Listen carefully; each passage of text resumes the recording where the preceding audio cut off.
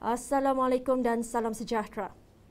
Sejarah hari ini tercipta apabila buat julung kalinya aplikasi Sarawak Pay dilanjutkan sehingga ke kawasan luar bandar.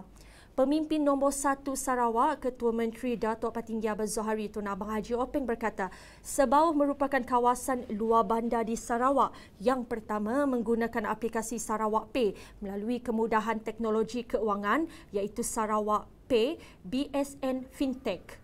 Beliau berkata demikian ketika merasmikan Majlis Perasmian Sarawak P BSN Fintech Reaching Rural di Sebauh Bintulu hari ini. Sememangnya menjadi visi Ketua Menteri untuk membawa kemudahan Sarawak Pay ini sehingga ke kawasan pendalaman yang mempunyai akses bank yang terhad.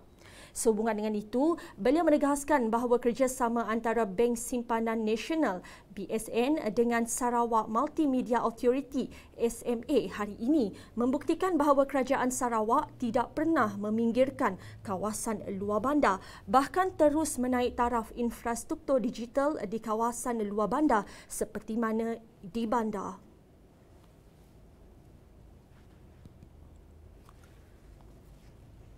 Hari ini ada masuk saya beri 36 juta ringgit untuk orang sebau.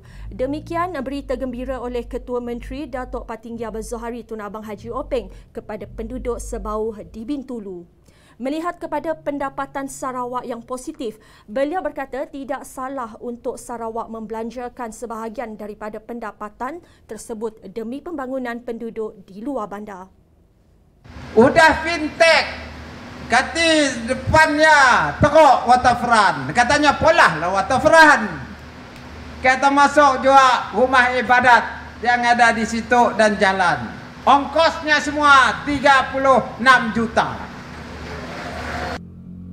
Ujar beliau peruntukan 36 juta ringgit ini adalah untuk pembinaan waterfront yang baru dan penambah baik rumah-rumah ibadat di Sebau. Terdahulu, Menteri Kewangan Lim Guang Eng pernah membuat kenyataan bahawa Sarawak akan move list dalam masa tiga tahun. Mengulas kenyataan tersebut, Abang Zohari berkata Sarawak tidak akan membuat sebarang perbelanjaan sekiranya tiada pendapatan yang diperoleh terutamanya daripada cukai jualan 5% yang dikenakan ke atas produk petroleum di negeri ini. Sehubungan itu, beliau berkata peruntukan 36 juta ringgit ini adalah sejajar dengan pembangunan positif di Sebauh yang kini sudah menjadi kawasan luar bandar pertama mengaplikasikan Sarawak Pay.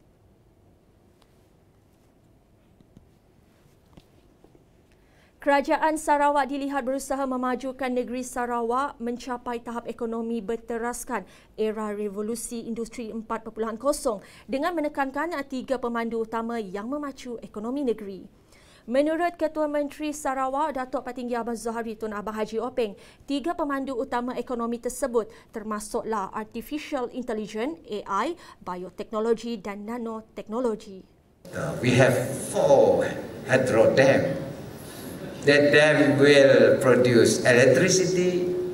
Electricity will ignite the process of getting splitting uh, hydrogen to run machine based on uh, engine based on hydrogen.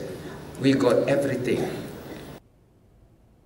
Tambahnya ketiga-tiga pemandu ekonomi itu boleh mengangkat Sarawak menjadi negeri pengeluar kuasa hidrogen, menghasilkan produk perubatan berkualiti tinggi dan mempercepatkan lagi proses penanaman semula pokok seperti kerjasama di antara kerajaan Sarawak dan Shell.